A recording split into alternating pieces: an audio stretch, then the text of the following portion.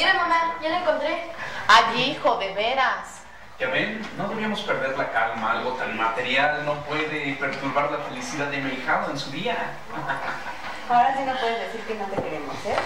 No, pero bueno, antes de partir el pastel y empezar con la celebración, quisiera agradecerles a cada uno de ustedes porque pues a- ahorita en este momento están reunidas las personas más importantes en mi vida. Y pues quiero empezar contigo, mamá.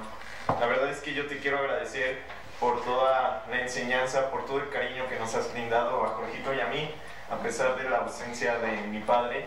Tú siempre nos has sabido sacar adelante, siempre nos has mostrado que el querer es poder. Por eso somos lo que somos ahorita. Tú eres el orgullo de esta familia. Allí, hijo, ustedes son mi orgullo. Bueno, ¿y tú, Jorgito? ¿Qué te puedo decir? La verdad, hermanito, cuando tú llegaste a esta casa, cuando eras así pequeño, cuando yo te podía cargar, pues la verdad yo no sentí envidia como otros hermanos y así. Yo la verdad te quise mucho y, y pues la verdad, cada día me enseñas cosas nuevas.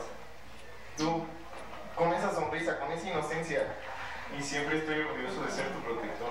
Gracias, hermano, te quiero mucho. Bueno, padrino, a ti te quiero agradecer porque principalmente tú eres mi consejero. Tú siempre estás ahí en las buenas y en las malas apoyándonos, a pesar de que sé que tienes muchas cosas que hacer en la iglesia, las misas y todo eso que tienes que ofrecer, pero pues tú siempre has estado ahí y yo sé que Dios nos cuida a través de ti, a todos nosotros. Dios te bendice, hijo. No creas que me he olvidado de ti, ¿eh? Yo me he espantado. No, ¿cómo crees si eres mi amiga, mi compañera, mi alma gemela, casi, casi? La verdad es que yo agradezco mucho a la vida por darme este tesoro contigo, que es la amistad que tú me has brindado. Te quiero No. mucho. Yo también. Pero vamos a prender la vela. Ah, Por vale. ahí les ¿Qué paso. sea tu Tu deseo? ¿qué? deseo, claro. Mi deseo. Les voy pasando los platos. Sí. Ya está. Mi deseo, Pero, ya lo tengo. eso. Ya está.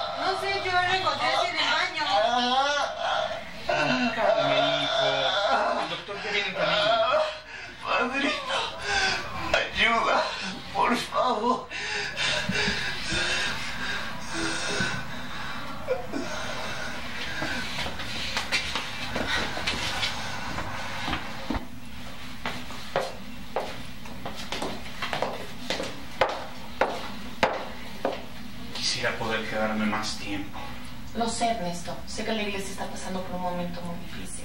Solo puedo pedirle a Dios porque se arreglen las cosas. El patronato ha decidido clausurar el templo. No se preocupen. Por favor, manténganme informado acerca de Cristian. Lo mantendré al tanto.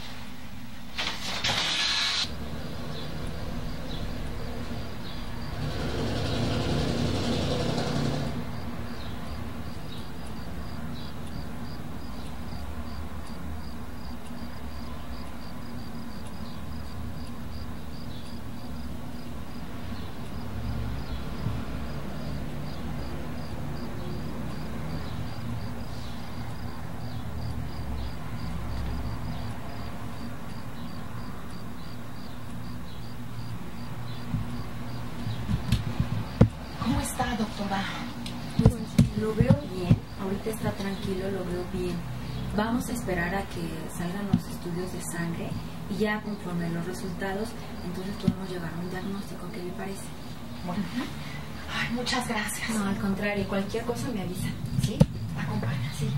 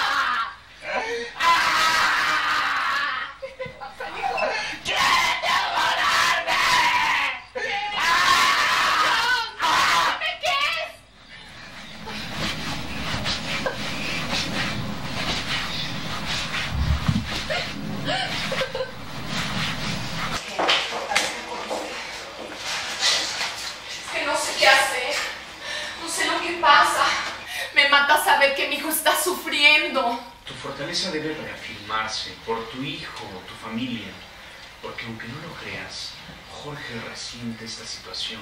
Lo sé, pero estoy desesperada. Todo esto es muy difícil. Padre hubiera visto. Le pegó a Jorge. ¡Él no te ha tocado a ti! ¡No! ¿Por qué? ¡No me quitas todo! ¡Ya! Casi me pega a mí y lo tuvimos que amarrar a la cama. Parece que esta situación está pasando de lo físico a lo espiritual y la situación se escapa del plano terrenal. Debo saber que no le entiendo. Mira, debes saber que así como existe la bondad innegable de Cristo, también existe una maldad igualmente poderosa. Y esa impía fuerza parece que ha tocado tu hogar a través. ¿Acaso está diciendo que mi hijo ha sido... Sí, No puede ser, dicen es un buen chico, siempre lo ha sido. el mal siempre desea corromper gente de buen corazón. Pero habiendo tanta gente cruel en el mundo, ¿por qué mi hijo? ¿De qué le serviría a él poseer a alguien que ya está de su lado? ¿Él?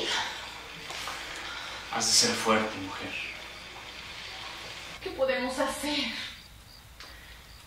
En estos casos la solución más prudente sería utilizar las armas que Dios nos ha dado.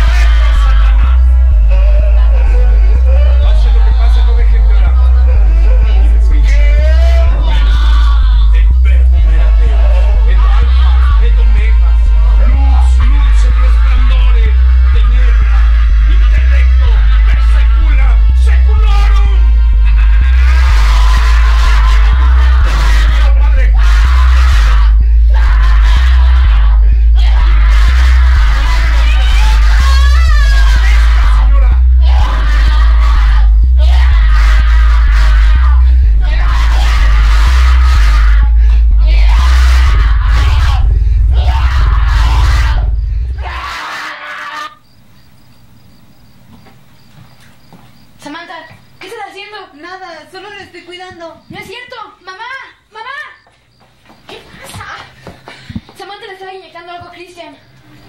¿Qué es eso? Yo no sé cómo explicárselos. ¿Qué le estabas inyectando a mi hijo? ¿Por qué? Mamá, cálmate. Samantha, ¿por qué lo estabas haciendo? El padre Ernesto, él me pidió... ¡Habla! ¡Habla, carajo! La fe se estaba perdiendo y, y él me pidió que le inyectara esto a Cristian. Con todo esto las cosas mejorarían. Entonces todo fue una farsa. ah!